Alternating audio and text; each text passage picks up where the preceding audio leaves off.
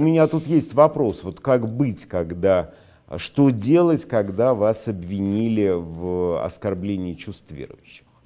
Ну, всем памятен процесс Пуси, когда стало понятно, до какой степени христиане злобны, но этот процесс, о чем я тогда говорил, был характерен еще и абсолютной адвокатской беспомощностью. Потому что в таком случае, если вас обвинили в чем-то подобном, то вы должны настаивать на том, чтобы э, тот, кому вы причинили вред, кому вы причинили боль, кому вы причинили ущерб, прошел бы обязательно набор соответствующих экспертиз. Не может один человек быть осужден на основании просто бездоказательных слов. Почему?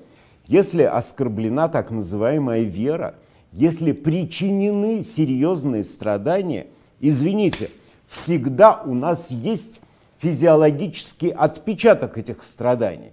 Всегда у нас есть реакция организма на эти страдания. Покажи арахнофобу паука, он описывается, у него участится пульс, у него изменится электропроводность кожи. Если человеку причинен какой-то существенный вред, он должен на экспертизе при повторении этих слов или этой картинки продемонстрировать предельно острую физиологическую реакцию. Ну вот помилуй, да, когда девушка заявляет, что ее изнасиловали.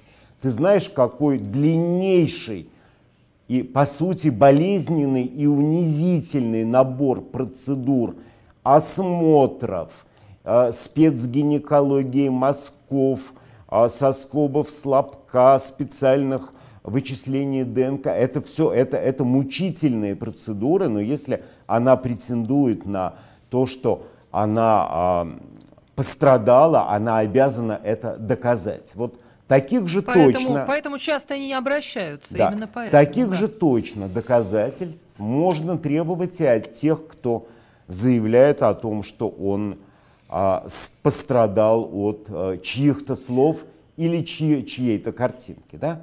И уверяю Александр тебя... есть только один нюанс. У нас э, э, экспертизы проводятся по любому поводу.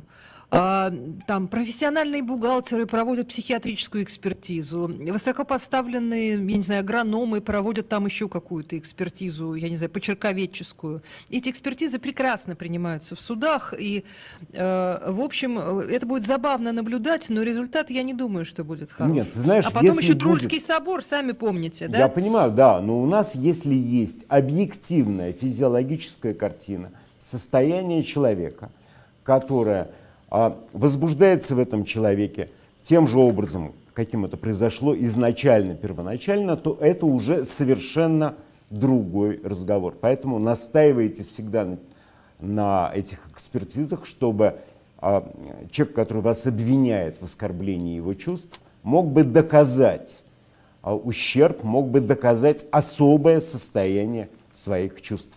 Если бы тогда вот тем бугаям, которые жаловались на девочек в Пусси, такая экспертиза была бы проведена, поверьте, никаких физиологических событий в них бы не произошло.